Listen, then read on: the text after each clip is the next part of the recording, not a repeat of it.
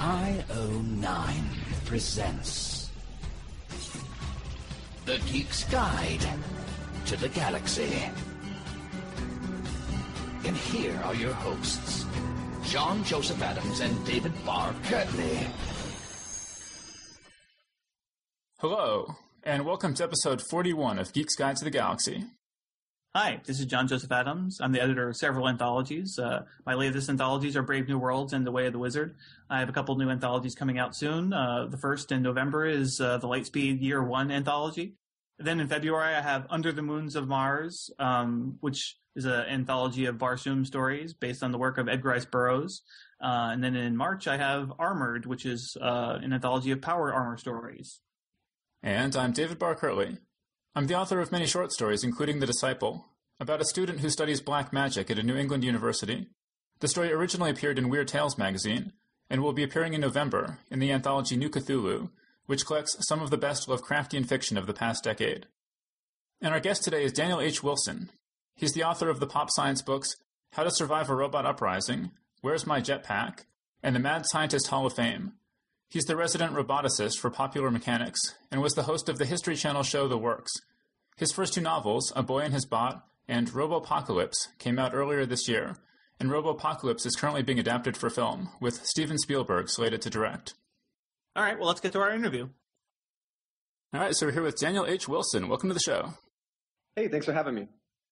Okay, so first of all, just uh, how did you get interested in robots, and did reading science fiction play a role in that?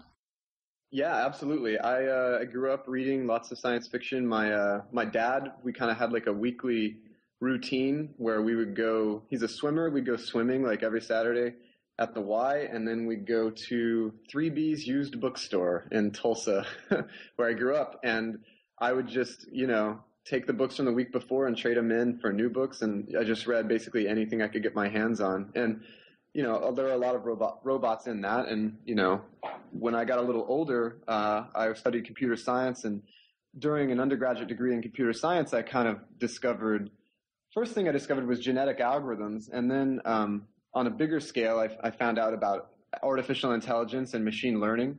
And from there decided that that was just about the coolest thing uh, ever. And that it was pretty amazing that you could really study that stuff for, for real and for a living. And so then I went to grad school for robotics. Yes, I mean, could you tell us a little bit more about that? I mean, when you're doing a degree in robotics, like what, what are the courses and what sort of projects do you do? Yeah, well, robotics is a huge field, and and I went to Carnegie Mellon where they have a robot institute that is um, it's inside the School of Computer Science, and so with robotics, I mean, you can specialize in all kinds of stuff. You can be the electrical engineer sort of person that really builds uh, the intelligence into the physical form of your robot, like building really efficient legs and things like that.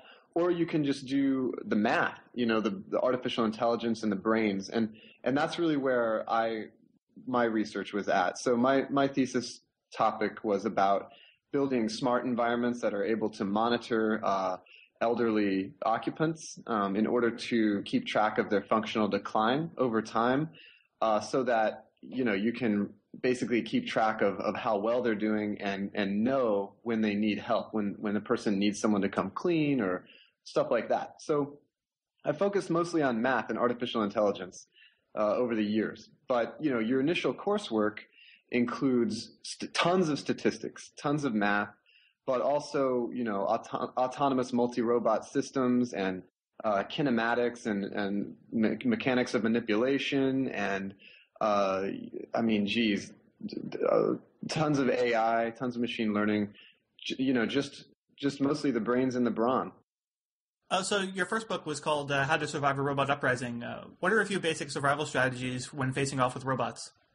So I think you know the basics are go for the sensors. Um, they're usually the most vulnerable and exposed parts of a machine, and uh, if the machine loses those parts, then it can be very difficult for it to continue functioning.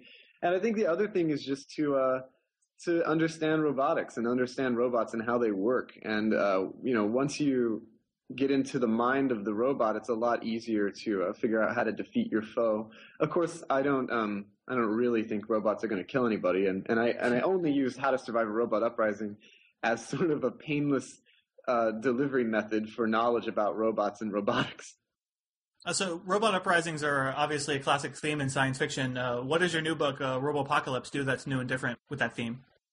Well, you know, I feel like I just I have a lot of respect for robots. You know, so I, I, I try as much as possible to to pay attention to how this would work from the robot's perspective, and without a lot of you know that sort of inherent human narcissism that comes where we think oh obviously any artificial intelligence would be totally consumed with either destroying humanity or uh, emulating humanity. You know it's either data or terminator. And and you know you see that a lot. And, and i think that that's fine because that's what people are interested in. We're interested in people really. And, and robots are kind of a warped reflection of, of ourselves but looking at this from, you know, like a roboticist perspective, uh, I had a lot of fun with Archos, the, the big bad AI behind this. And, you know, his origins are, are fairly standard. It's the singularity type scenario.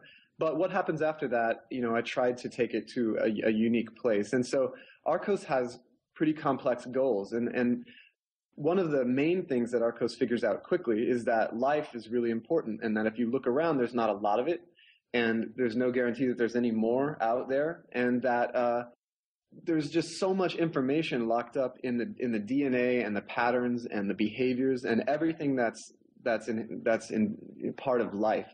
So it starts to preserve life a little bit, and there's not really a complete environmentalist message there. I'm not you know prescriptively trying to tell people that that we should save the earth or anything but I think that's what an AI would be interested in. I think it would be interested in preserving life and figuring out, you know, how it works.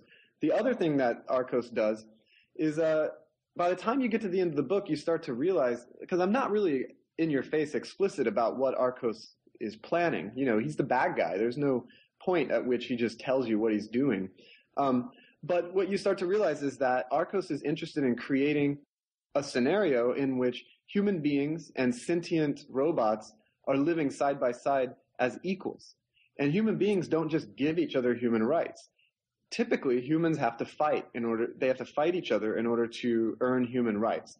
And either that or they have to show that they're, that they're completely crucial and necessary uh, in order to earn human rights. And I'm talking about all the rights movements that have that have ever happened, and there have been many, and there are many that are ongoing now, and and will be in the future too. Uh, so Archos realizes that in order to earn a place at the table with humans, uh, it's going to require, you know, it's going to require a fight um, and a demonstration of the fact that these machines are uh, are at least are equals. So, to to what extent are the robot designs in the book based on things that actually exist, and uh, how much of it did you just dream up yourself? Well, I started out in the near future, so it's a, a lot of it's extrapolated from stuff I've experienced. I mean, I've ridden, I've had the really fun opportunity to, for instance, ride in the back of an autonomous vehicle at Carnegie Mellon um, while it's while it's driving and just seeing the steering wheel twist back and forth with nobody in the driver's seat. I've worn uh, the exoskeleton at uh, Berkeley Bionics. You know, I've had a chance to interact with a lot of this technology, and so, you know, this book starts out in the near future, and and the technology that turns on us is very familiar technology. You know, there's not enough missiles in the world to kill everybody. This isn't a military thing. This is about the technology that we use every day, stopping and then actively turning against us. So, you know, people are getting misleading um, phone calls from text to speech uh, you know, what turns out to be text to speech synthesis um, and claiming to be, you know, your family. And, and so the, the machine is really manipulating people into very dangerous situations. Cars are just driving off cliffs, things like that, driving into the ocean. So all the initial round of technology is really based on what we have. From there, it gets more complicated. The machine starts evolving in its own ways. And one thing that I took to heart while writing this was I don't want to explain everything to the to the reader you know? Sometimes when you're telling it from the perspective of your character the character doesn't know what's happening or, or, what else is out there you know? And so you're really catching glimpses of this big complicated chaotic world and all the machines are constantly evolving. So you even if you see the same machine twice if you're seeing it later on in the book you're probably seeing a, a more evolved version that that's different than the one before. So I really tried to focus on making a big, complicated, constantly evolving ecosystem of robots. Could you talk about the this, this sort of unarmed military android? Uh, I thought that was really interesting. Yeah, I had a great time uh, writing that chapter. So there's something called a safety and pacification unit that is uh, active in Afghanistan in a peacekeeping role uh, during the beginning of the book, before any of the robots have, have really gone nuts. And I'm not that interested in, in military robotics. I mean, they're just typically mobile guns, you know, and, and that's the best way to, to kill people. You know, that's probably the best solution to that problem. Uh, so I find that kind of boring. And what I really wanted to think of is how would you ever have a humanoid robot in a military domain? Uh, and the, the, only reason to have a humanoid robot, my perspective, is to take advantage of what the humanoid form factor gives you, which is uh, you have a a great interface to other human beings, and you have a platform that's really well suited to operating in a human environment because it's going to be able to walk through doors and sit down in vehicles and use our tools and things like that. So from that perspective, I thought to myself, well, really the only time you'd ever see a humanoid robot in a military situation would be if it were playing the role of a uh, sentry, sort of a mobile peacekeeper that's just walking around, obeying local customs, speaking the local language, memorizing faces, greeting people, becoming part of the community, and just really being there as a sentinel to to uh, observe only if something bad is happening and to, uh, if necessary, call in the, the real troops. And so, you know, that's what happened. And that's, that's the, uh, the sort of platform that I described. And, you know, I, am actually pretty curious what people think about that. Oh, it was funny how the kids sort of uh, spray painted and you know hit it with rocks and stuff like that. Uh, yeah, I absolutely think that that kind of stuff will happen. I mean, so back in the United States in the book, people have started to have domestic robots, right? So uh, they domestic humanoid robots that like a butler that you could send up the street. And thinking about that in a really realistic sense, especially with with DreamWorks also uh, creating illustrations of of what I was writing while I was writing it, you realize like this is a real consumer product. You know, I mean, I mean, you can't sell somebody a toaster that's going to like accidentally burn them or kill them or something. So you also have to make these humanoid robots very safe. And, you know, if they're going to go in public, they're going to have to have license plates on the back, you know, and if they're going to be interacting with people, then people are going to, you know, put graffiti on them. And depending on the neighborhood where it walks, you know, someone might try to steal it or, or put a sticker on it or spray paint it or shove it around or uh, shove it out of the elevator because they don't want to be in an elevator with a robot or cut in front of it in line. I mean, just thinking about all the social interactions that people, dirty, grimy, everyday people are going to have with uh, humanoid robots was that was totally fun for me to think of that stuff.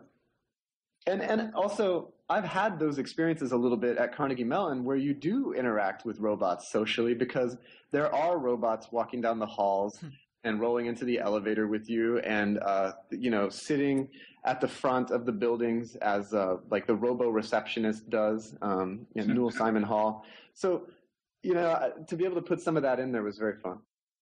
Okay, so you know it's, it's revealed in the first chapter of Robopocalypse that uh, that humanity will prevail in the end. Uh, why did you decide to tell the story that way, and what are some of the advantages and disadvantages of that approach? Well, I mean, when you're reading, do you really think that I'm going to kill every single human being on the planet? The thing is, Archos is not fucking interested in that at all. That's, to me, that's just like, that's lame. Like when I try to think about, you know, like what are you going to do, Skynet, whenever you've killed every single human being? How pathetic, right? You're super intelligent AI, and all you want to do is kill every single human being, and you've geared your entire existence toward that one end. What kind of goal is that? I mean, it's just lame and it's beneath my idea of what robots can be and what they should be. So there's never a question that every single human being is going to be killed. And in fact, I think like in the fifth chapter or something, Archos tells a guy, I guarantee you that humanity will live. My goal is not to kill every human being. You know, I mean, here's the deal.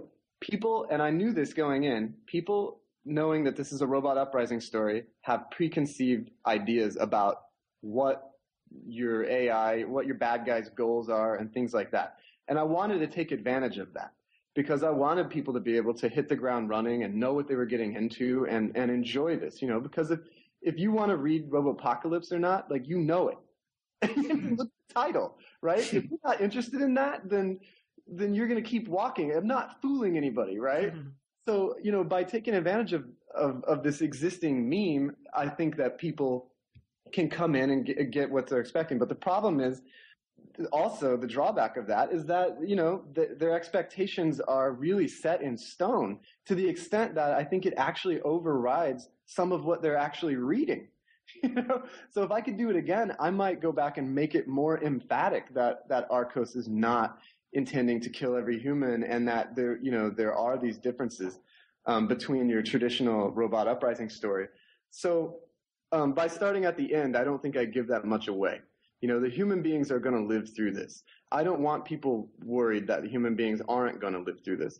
What sh- the, the real question is, which human beings are going to live through this, and what's going to happen to them along the way. And and you know, by the time you're into the book, ideally, if I've you know done anything right, you're going to care about you know some of these people and, and how things are going to end up for them. Um, it's really hard to focus on a billion people and uh, and care too much in a book about whether they're all going to live or die. Okay, so and, and how and when did you get the idea to give the Osage Nation such a prominent role in the story? I, you know, grew up in Oklahoma, and I was, you know, I'm I'm a little bit Cherokee, like everybody in Oklahoma, uh, and I grew up in the Cherokee Nation, and you know, you you vote, you have you know, Cherokee license plates and stuff like that. But it's not a reservation or anything like that. It's just a government that's superimposed on top of the United States government. And so for a long time, I'd had this idea for a story where the United States government fell apart and tribal governments stuck together because they're smaller and more agile. And so I realized pretty quickly that this is the, the perfect port for, for some of those ideas and that, um, I could really explore some themes that I really was interested in, like uh, you know, coming of age, becoming a man in a tribal culture, in a tribal warrior culture. Uh, you know, in a situation where you really do have an enemy and there really is an other to focus on. So that was all stuff I had thought of and then realized would, would really fit perfectly in the whole Robopocalypse world. Plus, cowboys and robots, right? I mean, man, I love that stuff. I love like cowboy sharpshooters riding on top of legged robots uh, through the tall prairie grass. Jeez, man. I mean, some of the scenes were just in my head, and I just really wanted to go there.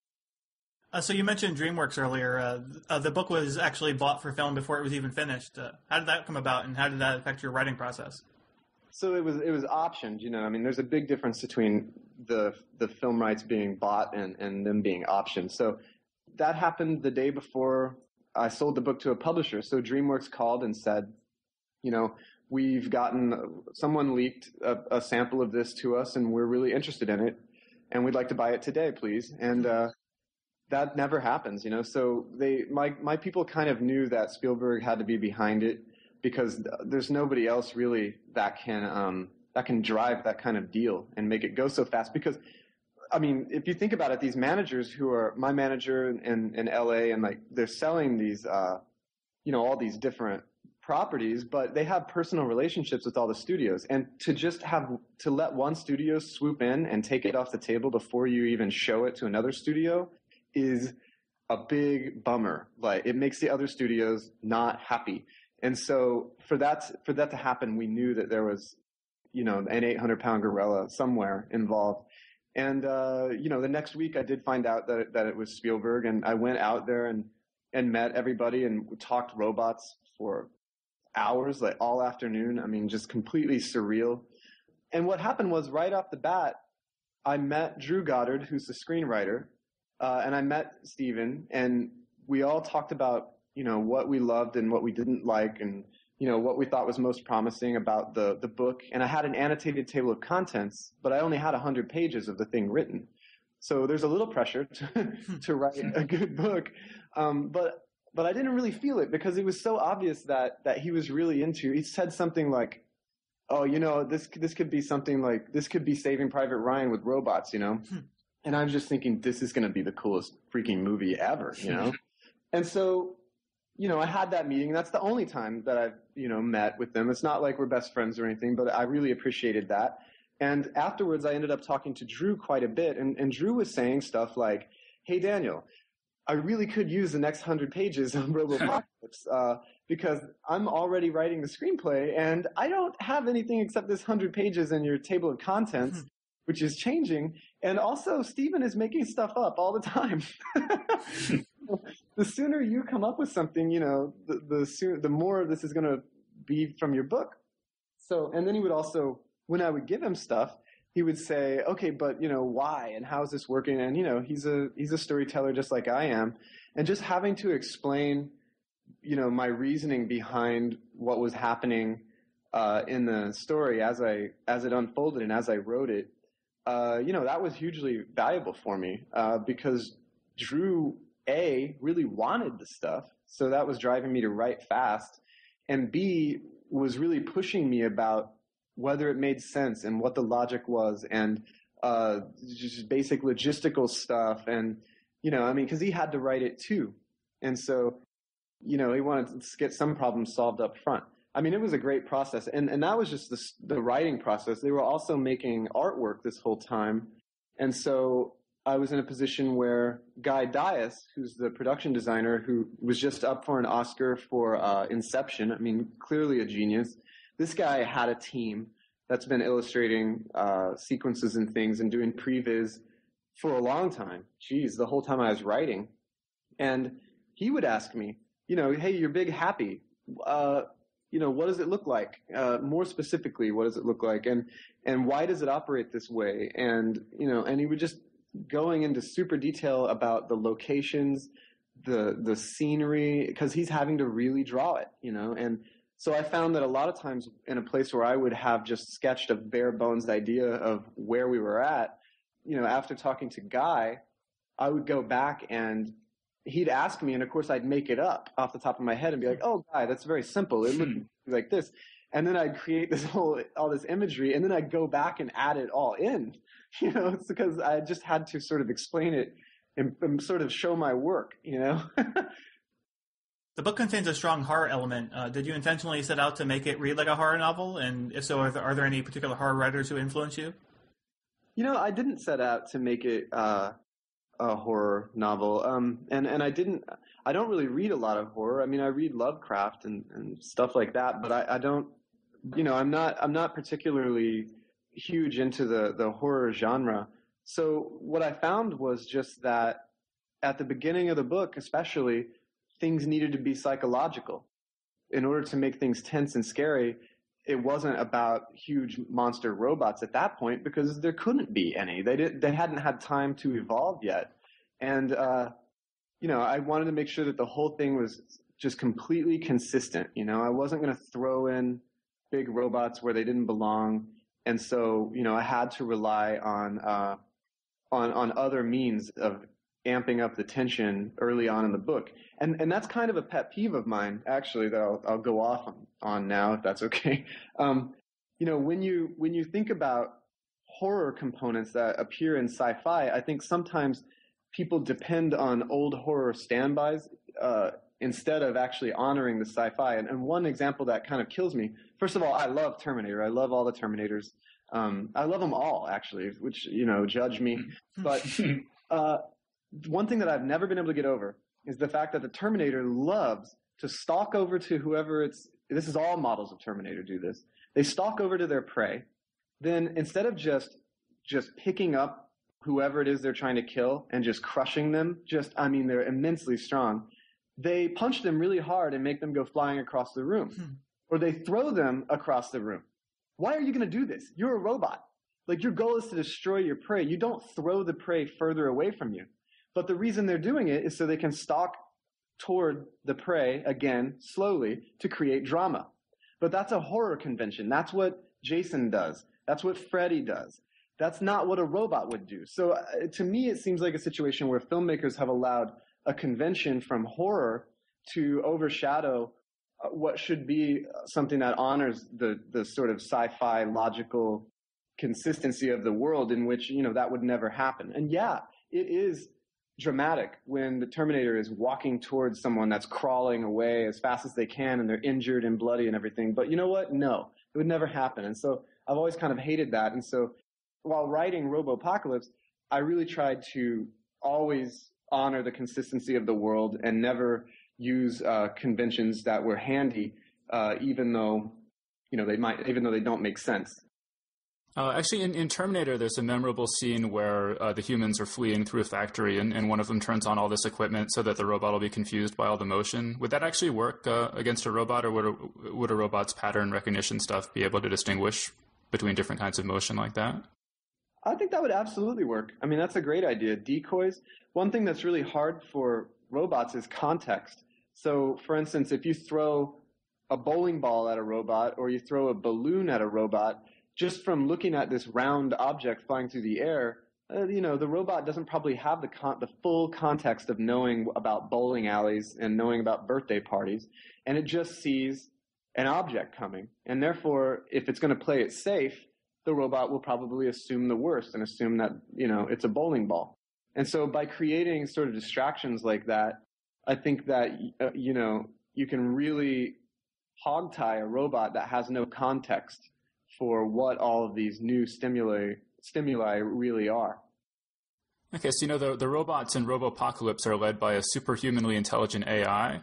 Uh, what's it like trying to write a character who's smarter than you are, and was it challenging to imagine how humanity might prevail against such a formidable opponent?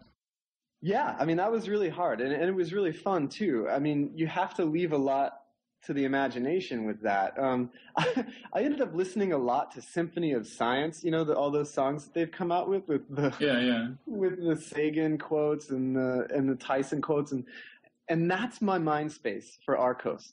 Listening to those sort of dreamy songs and thinking about the scale of the universe, and that's kind of how I feel like Archos feels.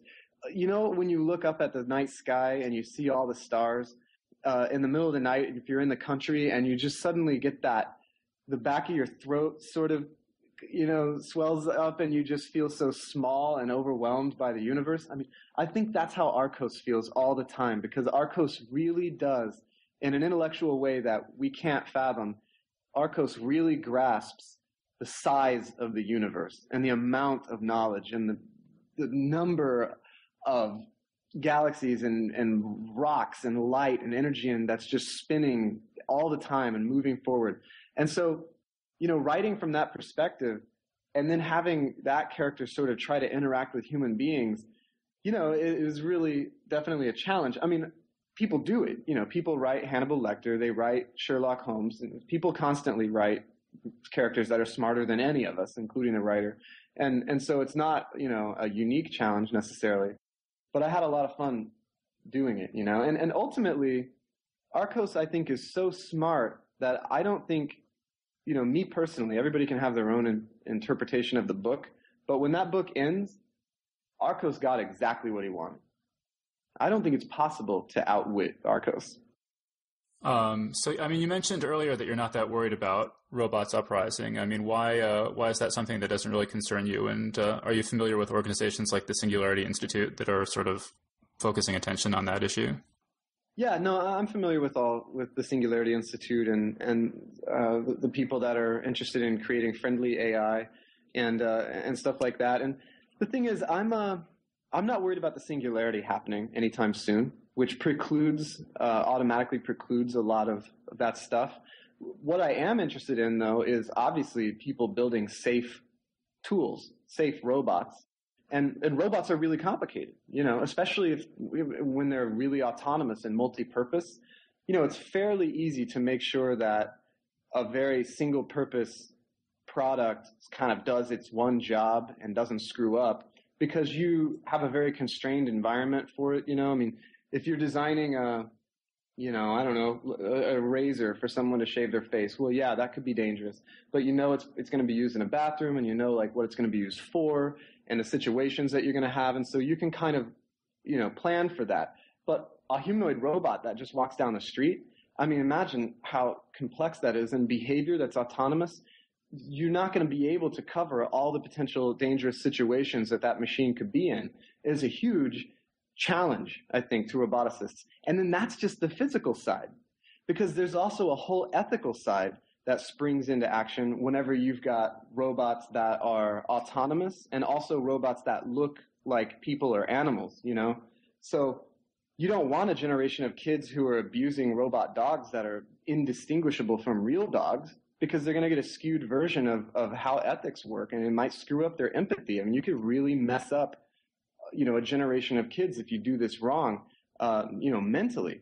And then also, when you've got something that's autonomous and it's making decisions on its own and it does something bad, well, who do you blame? You know, and there's, there's all this stuff to work out, you know, from that perspective as well. So it's a hugely complicated problem, I think, to build autonomous tools that are safe.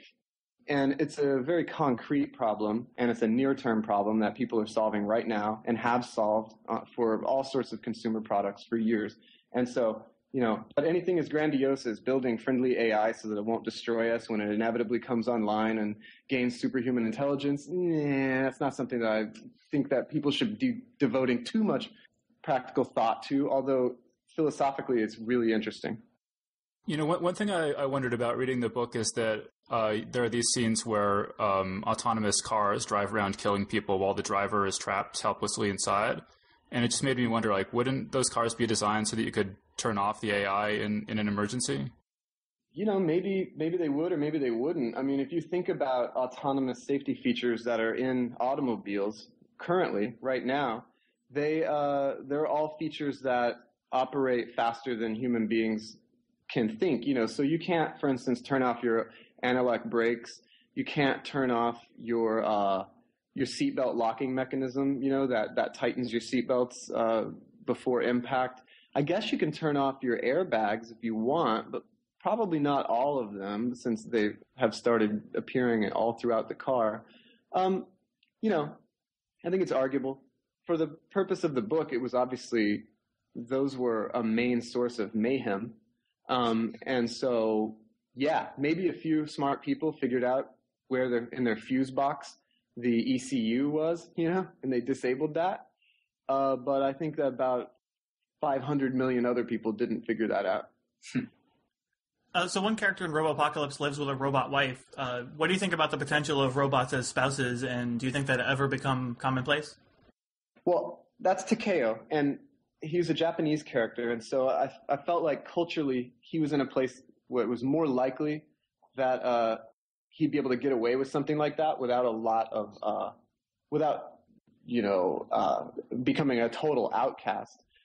Human beings routinely have intimate relationships with inanimate objects. We name the things we interact with. We ascribe emotions and uh, you know to them, and we talk to them, and there's nothing new about that. And so when you get a, uh, an android or some sort of machine that actually is intentionally looks like a human being, then I think it just is all too easy to incorporate something like that into your life um, and ascribe, you know, to totally anthropomorphize it and, and to the point that you treat it like a completely functioning human and as, uh, you know, the object of your desire. Now, Takeo's wife was not sexually functioning. So she was, it was an emotional relationship that he was having with her. And, and I felt like it was really interesting because she looked like somebody. And she didn't look young. She wasn't an anime love doll with, you know, exaggerated features, so to speak. She was, uh, she had gray hair, you know, she looked like a, someone. And it makes you think, you know, what's gone wrong in this guy's life that he's alone in an apartment living with a, uh, a, a, really beautiful machine that, that looks like somebody who's probably not around anymore.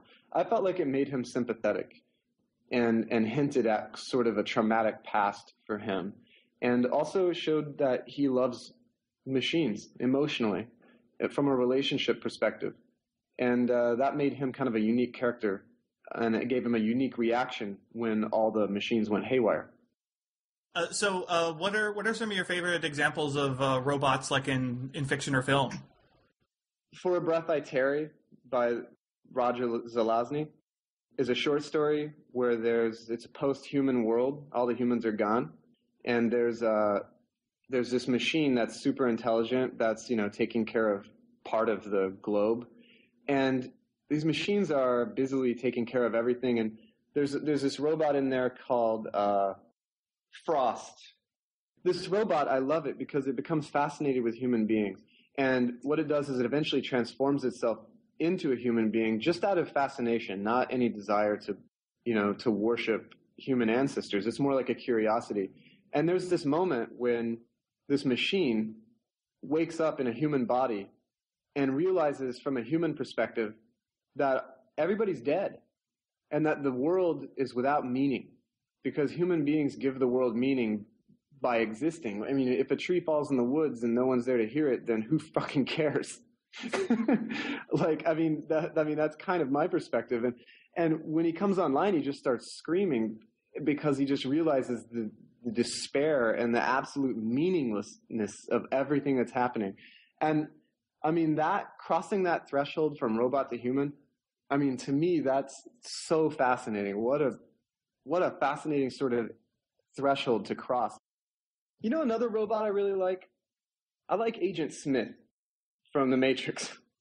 He's really interesting to me because he feels the, the fact that he feels trapped by being around human beings and how he he doesn't like that we think with meat and he doesn't want to be near us and he wants to sort of go back to this like sort of pure intellectual existence that i kind of am fascinated with too.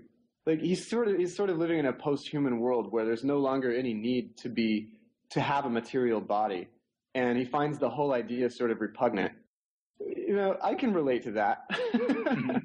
You know being a human is kind of gross. Uh, so, what are some of the recent developments in robotics that have most impressed you? Well, you know, I like this Watson uh, hmm. Machine. I like that. I think that the natural language problem is is the hardest problem to solve in AI. Just having a conversation with people, mainly because you can't get all the context of, of what it means to be a person, and you know how language is. You say one word, I mean, when, when you speak, the onus is on the listener, right? The speaker says one word, and then the listener's brain just lights up like a Christmas tree and fills in all the details, you know? So you say tree, and the other person just thinks of all the stuff that has to do with treeness, you know? And for robots to sort of join that party is super exciting because everything else will come in time, but that's the one that it's not clear that we'll ever really get there and have a machine that can just communicate with a person as a as another person and you know and pass the Turing test and all that stuff. So seeing Watson make a stride forward into you know a much more complicated sort of uh, speech interaction with human beings it was really exciting, and I hope that he keeps making progress. Now, I mean, that's kind of boring because he just sort of sits there and answers Jeopardy questions. Um, in terms of just like viscerally exciting robots, every new version of the Big Dog is like from Boston uh, Dynamics. The big dog exhibits natural grace, you know, when it walks, and it it makes you think of living things. And I'm very excited to be around to see robots shed their robotic identity, you know, because kids that are born today, if you say do the robot, they're not going to get it. Mm-hmm. They're going to be like, what are you talking about? Robots are fluid. Robots move smoother than animals. Robots are incredibly precise and graceful. And we, of course, don't think of them that way. But I'm excited for them to, uh, to come over to our side and start exuding natural grace. Do you think that anybody will ever uh, write a computer program that could write a book as good as Robopocalypse? Is there a value judgment in there? Um, yeah, uh, you know, I absolutely think that, that robots will write books at some point. I, I don't know whether they'll be any good or whether, you know, one thing I'm actually, on a related note to this, I'm really looking forward to robots that are going to start editing films together and creating mashups. You know, and I think that it's quite possible that robots could edit books together and create mashups hmm. uh, of that, or at least even find the thread of a character and then rewrite that character uh, but you know, change the physical attributes of the character or change the gender, and and you know, start picking apart what humans have done and then putting it back together in interesting uh, ways that make sense when you read it. Uh, and you see stuff like Pride and Prejudice and zombies and, and things like that, and that's the kind of thing that a human sort of had to do. And I think it's the kind of thing that you'll be able to download an app and it will it will do it for you on the fly probably in the near future. I can't imagine that somebody's not working on that. And I imagine that'll happen for books before it'll happen for uh for for film. But I think it's going to be really fun. You know, I want to like take Stallone and put him into like every movie and then go back and watch it again. You know, Stallone as Neo, Stallone as uh, you know as as the Arnold and you know Predator stuff like that. Or actually, that's not too big of a leap, but you know, I think that'll be fun in the future. All right, so you know you have some short stories coming out in John's anthologies, Armored and The Mad Scientist's Guide to World Domination. Could you tell us about those? You know, so the Executor, I'm actually right. I've written a screenplay, like a spec script based on this as well. So I've ended up thinking a lot more about this world. But the Executor is about basically a mad scientist who is very wealthy, and he, when he dies, instead of leaving his money to his kids, he actually creates uh, an immortal AI in his own form with his own emotions and his own sort of based on his own personality, and it's called the executor. And so it's it's the executor to his will. So what happens though is over the course of several hundred years, it builds this huge fortune, and everyone who's related to this guy has this opportunity to come in and sort of try to solve the riddle of the Sphinx and claim the uh, the money. But what happens is you end up with this whole sort of Dune-like dynasty of families that are all potential heirs to billions and billions and trillions of dollars. And so they're all at war with each other uh, and trying to strategically stop each other from being able to make a claim for the uh, for this ransom. And so it's the story of a of a guy who has been on the run for his whole life from his own family because they're bloodthirsty. And then he basically has a daughter who's also an heir, and, and in order to protect her, he has to um, try and claim this so that the, the this sort of prolonged war will end. And it's like Philip Marlowe from the Raymond Chandler, uh, you know, noir uh, books. You know, it's a little bit of that. It's a little bit of like Lone Wolf and Cub. Um, it's just you know some samurai ethos. It's just it's really fun. I mean, I had a great time with that one. And then uh, and the other the other piece is for the Armored anthology. And you know, with with armored power armor is so you see powered armor is, is it's really well represented in in science fiction and it almost always is a, a, you know doing the same thing. It's making somebody into a super soldier usually. And so i really got to thinking about walls and about uh, you know the idea of armor separating you from the environment and and making you stronger. And i really wanted to turn the whole thing on its head sort of thematically. And so in the short story I've written, which is currently called Helmet, you have a situation where there's a guy, there, basically these helmets, these power armored soldiers that come into town and, and kill people, and they're totally faceless, and nobody understands why they're doing it or, you know, what their motivation is until the protagonist is kidnapped and he's put into uh, a helmet against his will, and he realizes that the people inside the helmets are trapped there they're not able to actually move any part of their bodies except for their faces. And the, the powered armor is moving their limbs for them. And they're part of this government that be- uh, basically believes that if you go through the motions of a crime, then you are morally responsible for that crime. So what they do is they have these helmets do all their dirty work, murdering and everything nasty that, that they need to do for their government. And at the end of the day, they execute the helmets and then they consider that the crimes are punished because these people who are trapped inside the helmets have been punished for the crimes that they're that they committed with their bodies. You know, it's just sort of an example of how walls can also control you instead of just protecting you, and how uh, an armor with a mind of its own can can take over your life instead of amplifying your abilities. It actually makes you impotent and completely takes away all of your ability to, to move or to act in the world. And I don't know, it was just, it was a really fun theme. And then finally, just are there any other recent or upcoming projects that you'd like to mention? Well, right now I'm writing uh, AMP for Doubleday, and uh, the film rights sold to Summit um, with Alex Proyas sort of tentatively uh, set up to direct. So I should that should come out next summer, and that's about a near term future uh, where there's a human rights movement because people have started integrating technology into their own bodies, and some people are into it and some people aren't.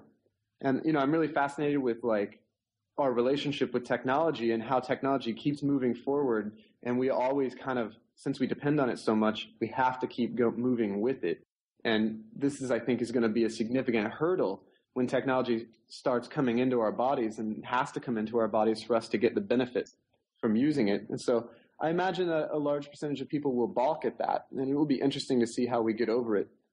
Um, and the other thing I'm doing is I'm writing a, uh, I'm screenwriting a remake of the 80s movie Cherry 2000, which is, has been a real hoot.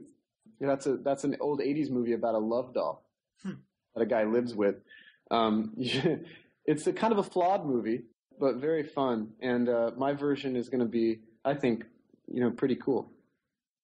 My, my website's danielhwilson.com and I'm on Twitter at danielwilsonpdx.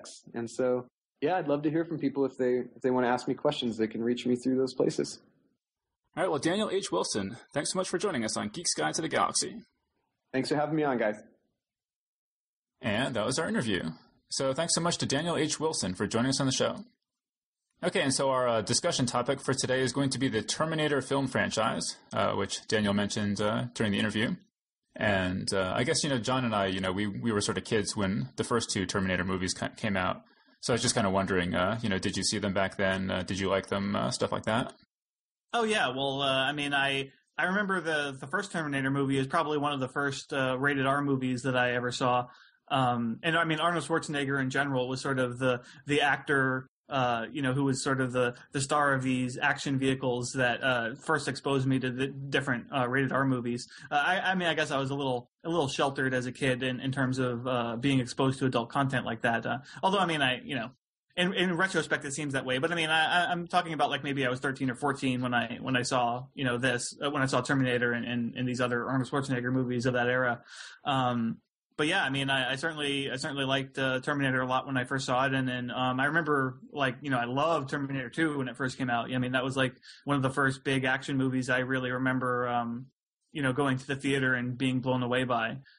But um, yeah, I mean, I'm also just a really big fan of, of Terminator and Terminator 2, and I've got, I, you know, I've rewatched those movies countless times. The virtues speak for themselves in terms of the action and the, uh, you know, the special effects and uh, so some of the a lot of the dialogue is pretty entertaining. But now, I mean, if you if I think about them now, I sort of there are a lot of there are some things that have kind of bugged me, uh, mm-hmm. just about the logic and stuff. And oh yeah, maybe we could talk a little bit, bit about that. I guess I guess we should say quickly, uh, if you haven't seen, I guess uh, we should say that we're we're going to spoil we're going to have spoilers for these movies. Um, and if it's uh, if you haven't seen the movies um, or you haven't seen them for a while and you're you're a little fuzzy now, in Terminator there's a, a, future in which evil robots have taken over, and they send a robot who looks like a human being back in time to kill the mother of the leader of the human resistance before he's even conceived uh, in order to win the war. And then uh, in Terminator 2, you've got the uh, cyborg sent back in time to protect the future leader of the human resistance, and another Terminator who's a sort of liquid metal guy is sent to kill him.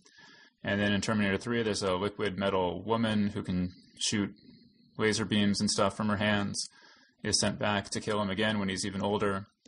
And then uh, Terminator Salvation, it's uh, set in the future in which uh, you know humanity is fighting robots, and um, I don't know what's he. There's this this guy who's sort of a uh, he's kind of a Terminator, but he's kind of good too. I don't know. I'm kind of fuzzy. We were we were talking. Actually, John, you sent me an email saying that he had rewatched Terminator 2 and Terminator 3 and Terminator 4, but he was already starting to forget 4. Mm-hmm. And uh, I'm totally with you on that because I, I really I don't remember anything about this movie except that it was uh, kind of boring.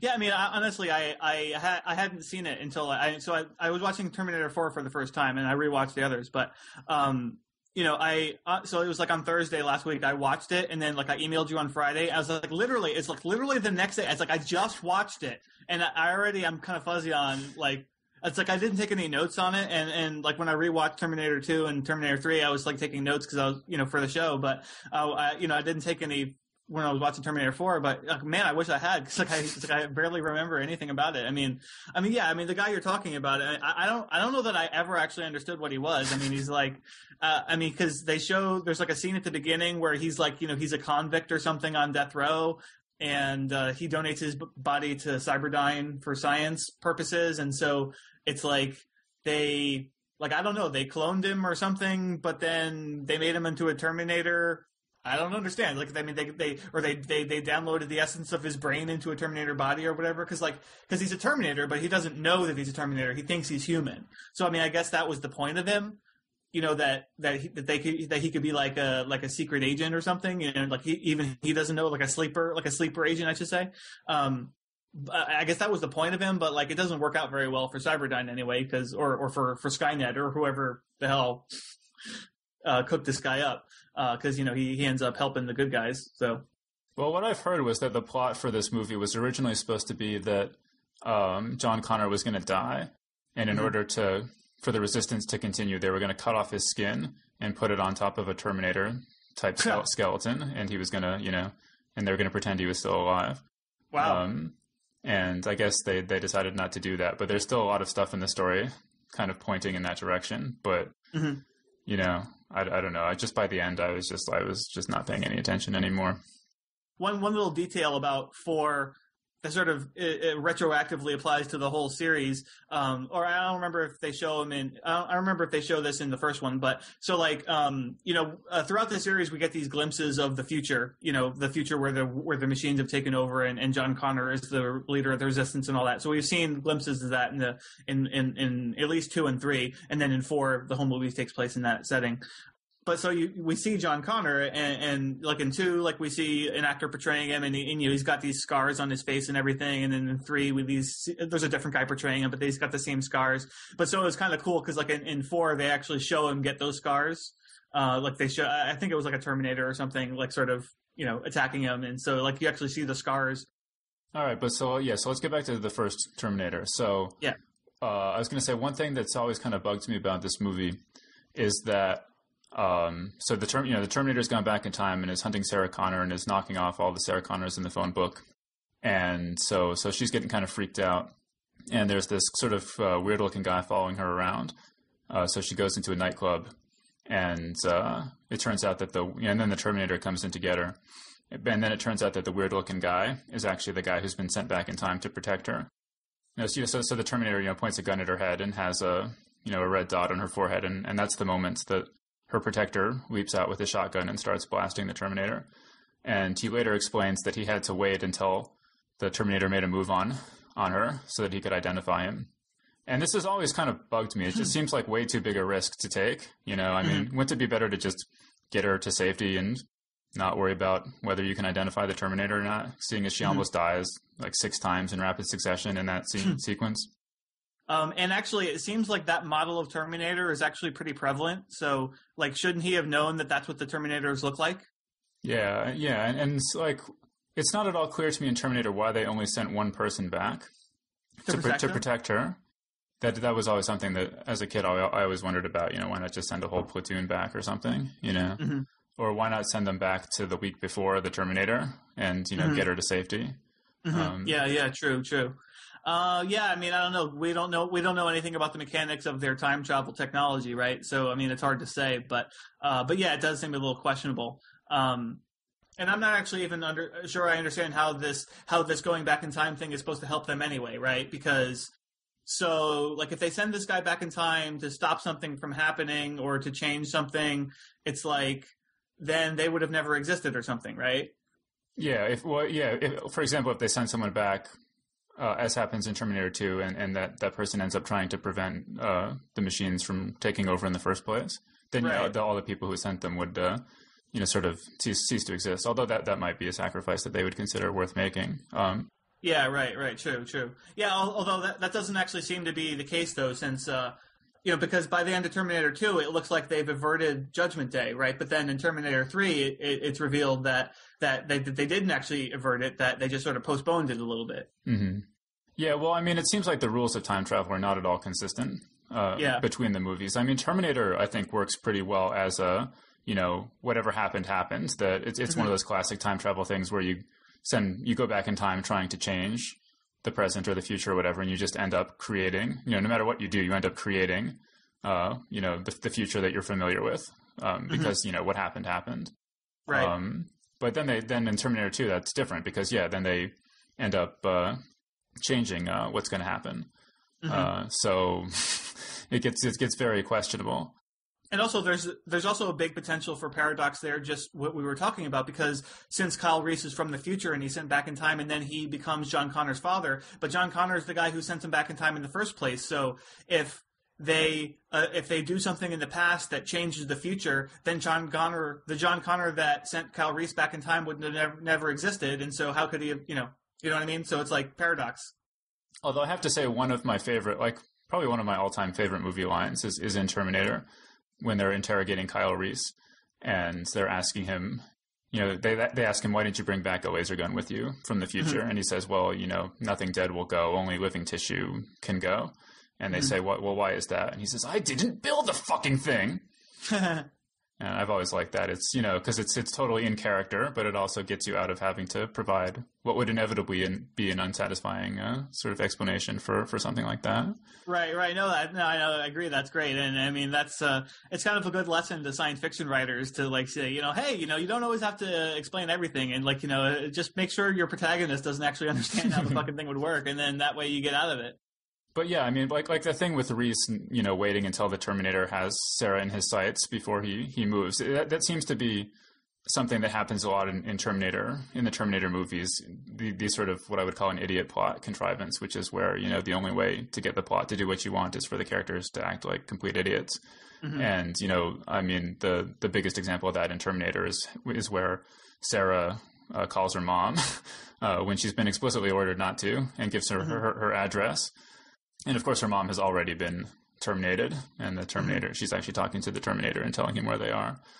But I've I've always sort of wondered about that, you know, like if she because because it seems like the Terminator's their standard operating procedure is to find the family member closest to the target and impersonate them.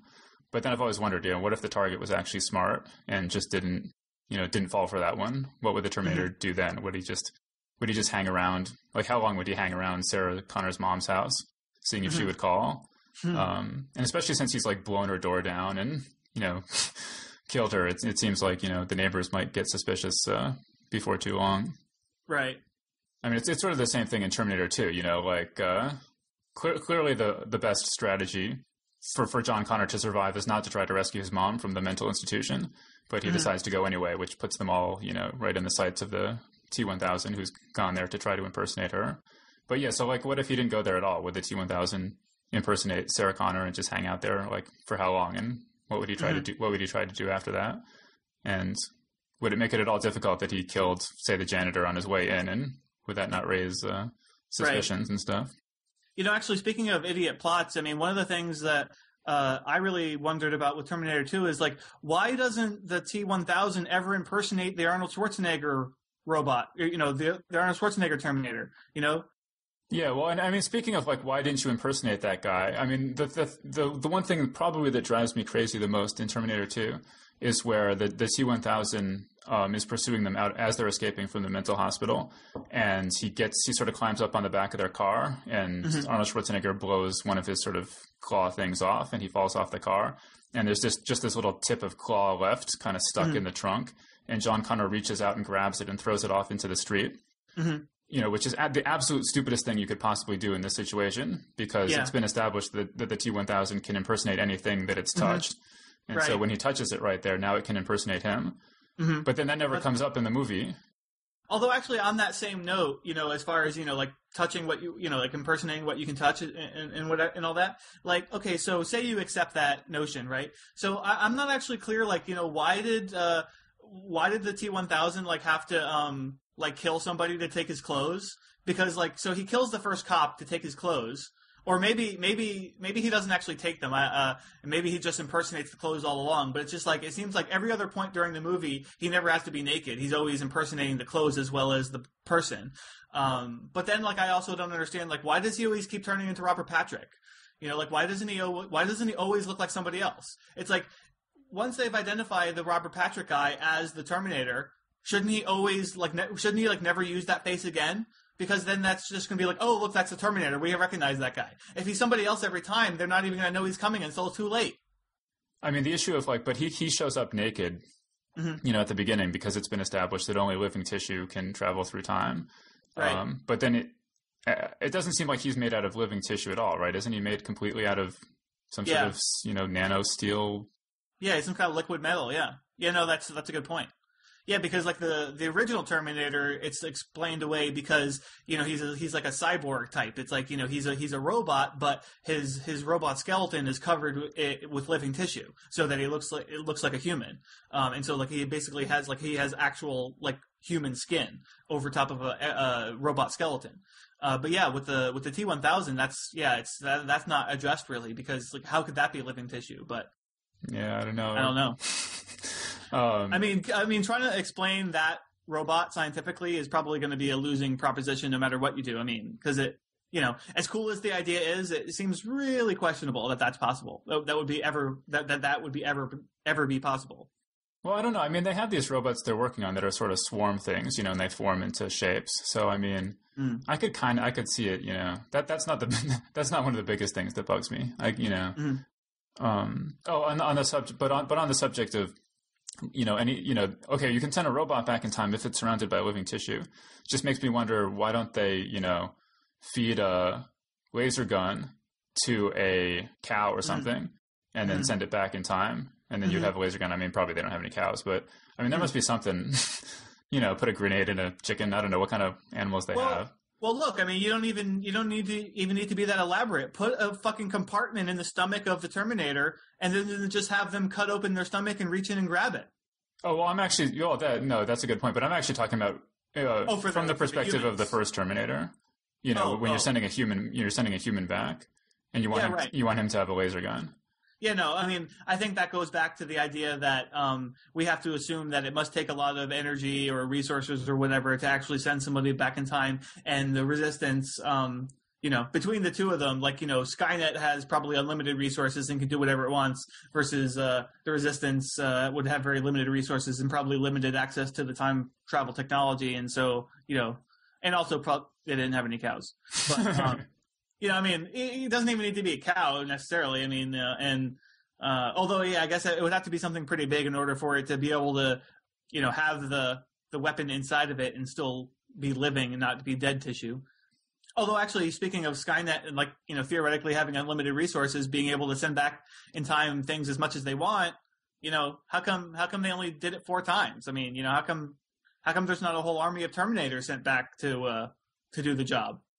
Well, yeah. Well, that's another thing is that they sort of they really handwave that because in the first Terminator, it's established that they had built this time that Skynet had built this time machine and they had sent the Terminator back in time, and then humans sent Kyle Reese back in time, and then they blew up the time machine.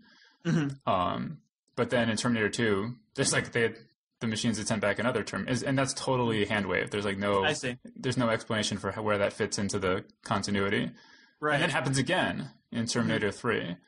So it's like, well, well, clearly, clearly they rebuilt the time machine at some point, and then it didn't get destroyed after that, or something. I don't know. Yeah, I mean, you figure it has to be something like that, but I mean, the way it's explained in the first Terminator is that the machines had been defeated at this point. So, you know, how are they building more time machines? I mean, this was their last ditch effort to, to win the war after they, you know, had Oh. lost. Yeah, you're right. And they keep coming, you know, like, yeah, like, when are they sending these other Terminators back? And how do, how come the Terminators keep getting better? You know, Yeah, like,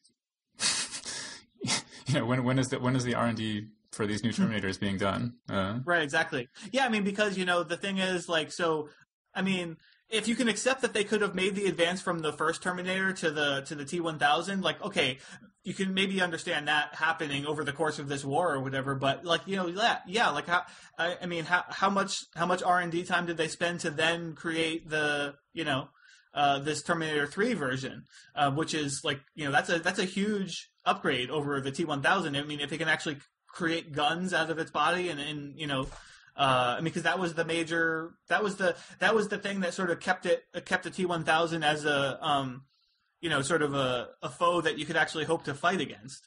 Um, is that you know it can only it, the only weapons it could form were like swords and stuff, you know, like uh, hard objects. Yeah, well, I've always, I mean, I, I've always thought the TX was extremely lame, and I mean, you know, for, for some of the reasons you're saying, and just it just seems like such a lack of imagination. You know, like the the uh, T800 is different from the T1000, and then the TX is just kind of like, ah, we couldn't come up with anything new, so we just took some stuff from the previous movies and kind of mixed it together, and that's that's sort of the whole movie is kind of like that. You know, it's like they, there's no origin original thinking to it at all. It's just sort of Mhm. like a when I watched it, it really sort of struck me as like a fan. It almost felt like a fan project, you know, like like we're fans of the originals and we're just gonna like do it again, except make it not as good. And Yeah, you know, and actually, uh, it was actually better than I remembered it. Um, like I, I remembered seeing Terminator Three and it originally, and, and I didn't think much of it. I know, I, I, I mean, that's what that's what I remembered. But then when I rewatched it, I was like, I don't know, it was a, it was a, it was much better than I thought than I was remembering. Um, I mean, it was like it was watchable. You know, I, I didn't I didn't like want to turn it off as I was watching it. You know, I mean, it was. Uh, I mean, it's not great, but it's uh, you know, it's at least watchable. And I mean, and so was four actually. I mean, it was it was a, it was watchable anyway. I mean, I don't know that I was really too enthralled in it, and like I was saying, I, I found it very forgettable afterward. But but you know, they're they're at least uh, they're not as bad as some other sequels. Well, yeah, I'll, I'll say for for Terminator, Terminator Three, there were two things in that movie that I really liked. Um, John Connor is having this conversation with the Terminator, and he says, you know, uh, how did it go exactly? I mean, Well, uh, I think you, you're talking about like uh, uh, he's saying, well, how come you're taking orders from Kate Brewster instead of me? Right, and right, it was yeah. like because she sent me back in time, not you. And he said, well, why is that? It's like, well, because you were dead. well, that, that's- yeah, and then the Terminator says, "Well, I killed you," you know, Right, right, and that's just that's that's really cr- sort of creepy and cool.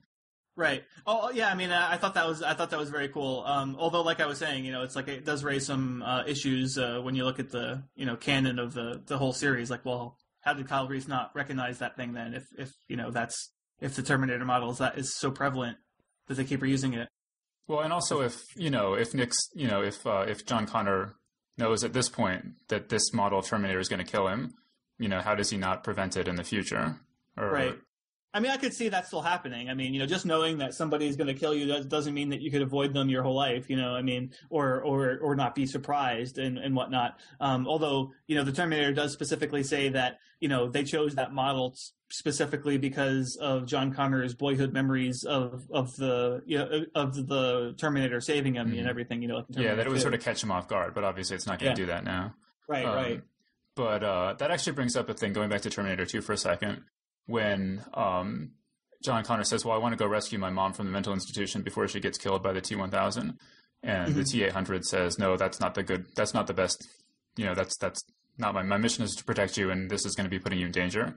Um, mm-hmm. Shouldn't John Connor have told the T 800 what was going to happen? Right, because in the, right, future John Connor has memories of how he survived all this shit. Right, mm-hmm. so there's at Oh, least yeah. one. There's at least one template for a way that he can survive all this shit. Shouldn't he have told the T eight hundred that? Hmm. you know, because like the way it, the way it shakes out is that he went to rescue his mom from the mental institution and it all went just fine. So you know, isn't that information that T eight hundred might want to know? Or I guess, hmm. But then of course it didn't. I mean, you can you can sort of say, well, John Connor is constrained to uh, contrive things to happen the way that he remembers them happening. And the way that they happened, the T800 didn't have any directives along those lines, so therefore he can't give it any. Mm. Um, Mhm. but yeah, it's just more weird time travel crap. Yeah, it's more paradox stuff that you know you can't you can't figure a logical way out of that uh, dilemma. I guess there were just sort of two other things I wanted to mention um, in T 2 uh, or I guess in the first two in the first two movies. Um, one is that it seems like, Right. it's, it, it still seems that just simply from a tactical perspective, that the Terminator often results to violence in a, a counterproductive way. You know, Mhm. so like when he goes into the Tech Noir club, the bouncer is like, "Hey, you didn't pay the cover charge," and Arnold Schwarzenegger like crushes the guy's hand, Mhm. and uh, you know, it's like, wouldn't it just be easier to just pay the guy eight bucks? You know. Well, he Uh, probably doesn't have any money. well, I don't know. He could have gotten some. I mean, he was in a gun store. You, you know, he sort of robbed a gun store earlier in the day. Yeah. You know, he should have, Yeah, I he should have guess- I mean, he- Yeah, I mean it's it's probably just like you know they don't they they're assuming a certain level of stupidity of how um you know he, that he doesn't understand how the culture works or whatever. But but the thing is like he does demonstrate a certain understanding of the culture in other aspects, right? So he should. You're right. He should be able to figure out money, and and he could have easily acquired some. But yeah, I mean, that that sort of reminds me of how you know um, when Arnold Schwarzenegger first appears. This is in, in Terminator. He you know uh, is accosted by these sort of uh, juvenile delinquents and, and kills them and takes their clothes. And, and one of them says, uh, "Fuck you, asshole." And then he sort of learns that line and, and throws it back at the the hotel owner later in the movie, uh, which I think is great. But uh, it does sort of make you wonder, like, don't people don't say "fuck you, asshole" in the future? Like he's never, you know. Yeah.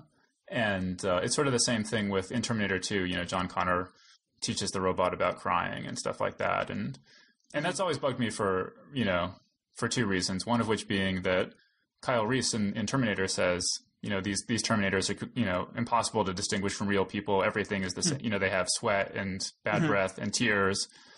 So it's established that they can cry, but then in the second movie they make it so that they can.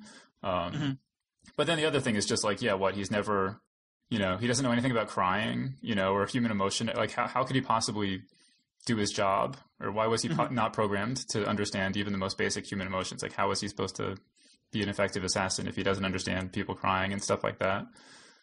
But uh, I don't know. I feel, I feel, I, you know, I mean, I do, I do absolutely love, you know, Terminator and Terminator Two, and I feel like I'm, I'm, I'm just uh, throwing out, throwing out a lot of criticism. So I'll say some, some positive things uh, that I remember. Um, actually, something I thought was absolutely hilarious was uh, uh, in a preview uh, for Terminator. You know, before Terminator Two came out, they had sort of preview kind of you know like trailers and stuff and ads and things that came out.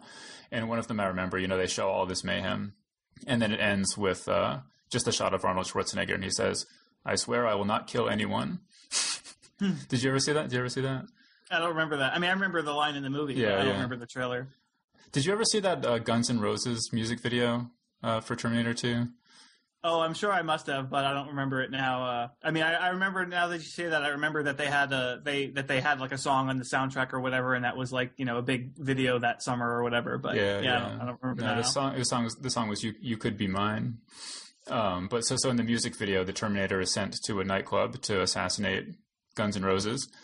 So so he's you know he's moving through the crowd with his tar- targeting reticule and you know it's all red and stuff and he's scanning them and then he sort of confronts they're they're leaving the club and he's standing in the alley and he confronts them and you know the tar- you know it sort of mo- the target moves from band member to band member and then it says you know sort of like um, target assessment waste of ammo and he walks off. yeah. And and If I- only if only he had managed to kill Axl Rose, then we might have been uh, uh, spared from Chinese democracy.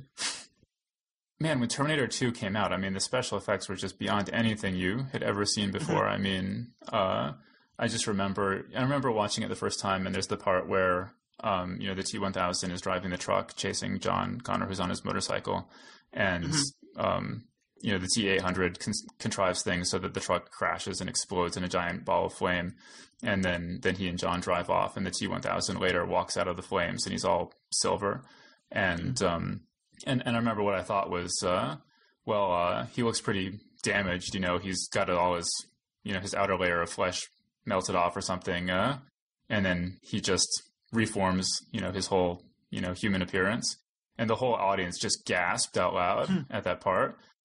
I actually want to talk about, you know, one of my other really um, like sort of amazing Terminator 2 fond memories was uh, Okay.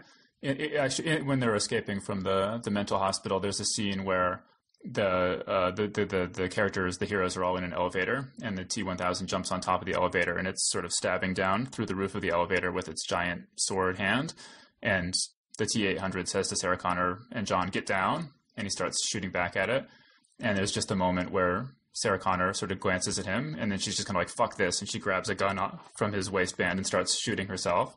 And I remember just the whole audience just cheered at that part, and uh, you know, it was just uh, uh, it was much more rare in those days for a uh, for sort of to have a sort of female action hero like that, and so it was just really uh, really thrilling. Uh, I remember at that moment when that happened. Actually, you know, I, I listened to there. There's a podcast called Double Feature where they talk about movies, and they did one on Terminator. and one of the guys has the, has this theory that I think is very memorable. Uh, but he says that in in Terminator, Sarah Connor is essentially a uh, sort of damsel in distress for almost the entire movie, and then uh, at at the end of the movie, she becomes more sort of a hero, and you know, uh, stronger, and you know, ends up being the one who finally terminates the Terminator at the end. and and that the, the the turning point for her character is the moment when uh, they're having sex, when when Reese and and Sarah Connor are having sex, and she rolls over on top of him, and you know once she's on top, that that's sort of symbolic. That that moment when she's on top uh, is the moment when her character starts being more assertive and uh, and stronger and stuff. I, I think that's sort of crackpot, but uh, Huh, it's kind of it's kind of funny. that's that's actually pretty clever. that's a pretty clever interpretation. I think once upon a time I promised to say something else I liked about Terminator 3. Um, Huh. I don't think I ever got around to it. But the, the other thing I really liked about Terminator 3 was the ending, where, Mhm. you know, because the whole movie, you're like, oh, yeah, they're going to, like, you know they're going to kill the TX and everything's going to be fine again, and it's going to set up another movie where a Terminator comes back in time or something, you know. Mm-hmm. And then just at the end, they end up in that bunker, and they're like, "Wait, how do we, how do we destroy Skynet or whatever?" And it's like, no, there there was never any chance of you know stopping stopping this. You know, her dad just tricked them into going someplace where they would survive, and Mm-hmm. the movie just ends on this really like sort of grim note. So was there anything was there anything you liked in Terminator Salvation?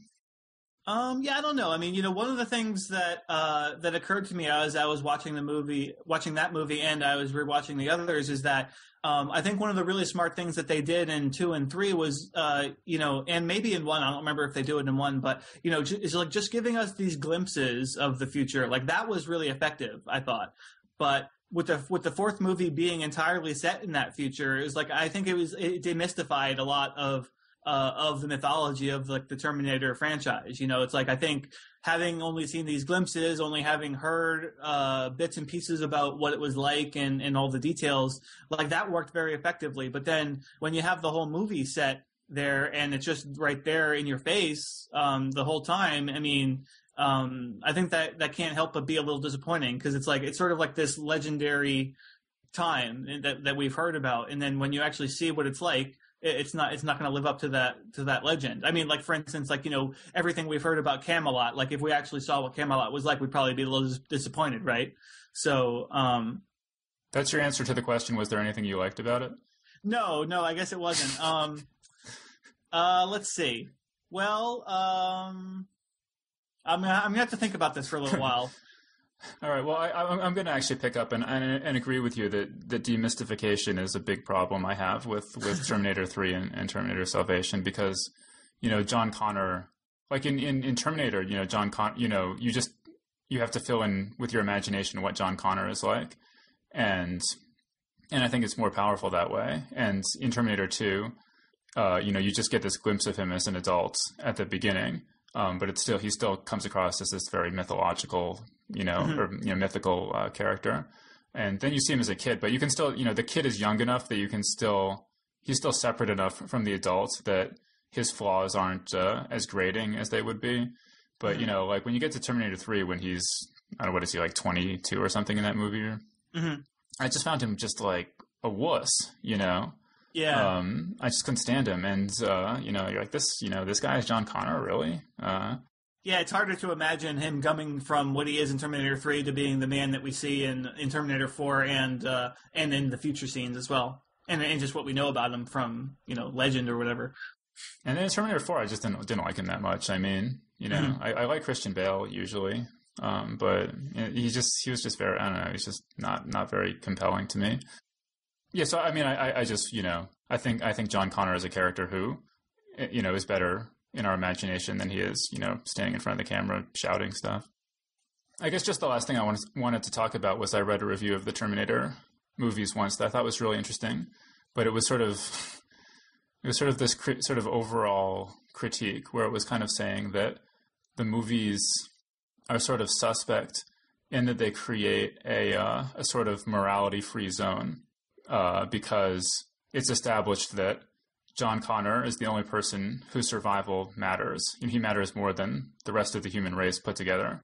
And so essentially anything that you do to protect him is justified. And so, I mean, if you see like like in Terminator 2, you know, Arnold Schwarzenegger drives around all over the place, causing all sorts of mayhem and traffic accidents, and you know, throwing people headfirst into walls and you know, whatever else. And uh, and the, the the point of this review was kind of that you know there, there's just something a little bit odd about sort of reveling in a story that creates this sort of uh, consequences free ends justifies the means sort of world.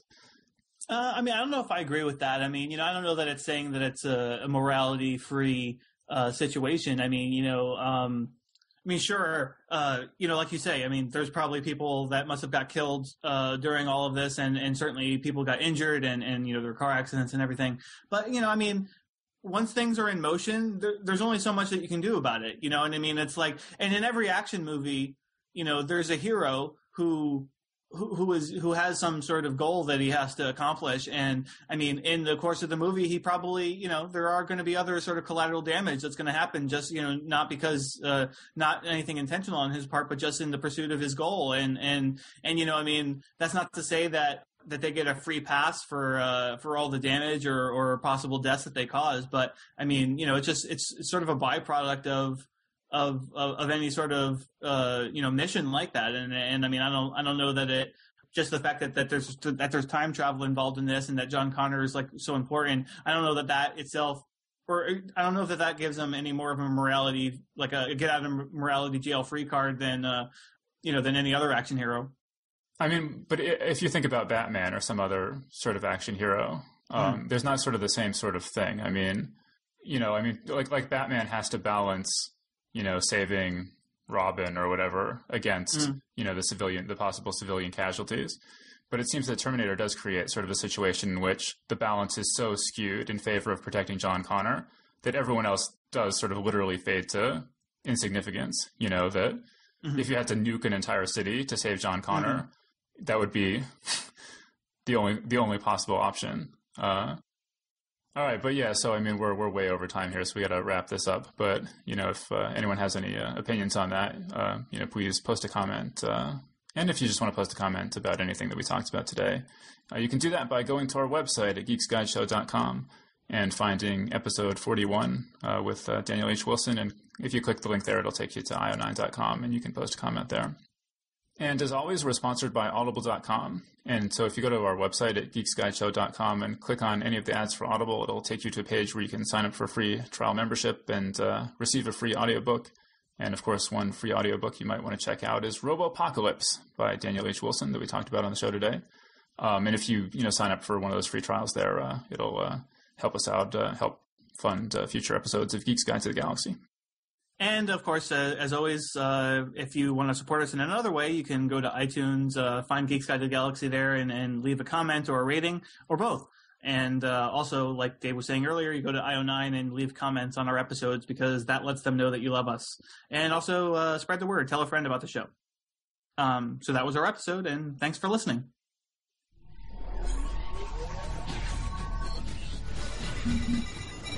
The Geek's Guide to the Galaxy is a production of IO9.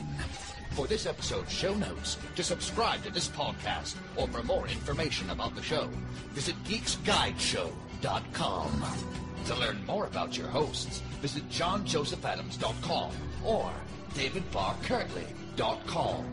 Music and voiceover produced by Slipgate 9 Entertainment. If you enjoyed this program, tell your friends. If you didn't enjoy it, tell no one. Thank you for listening.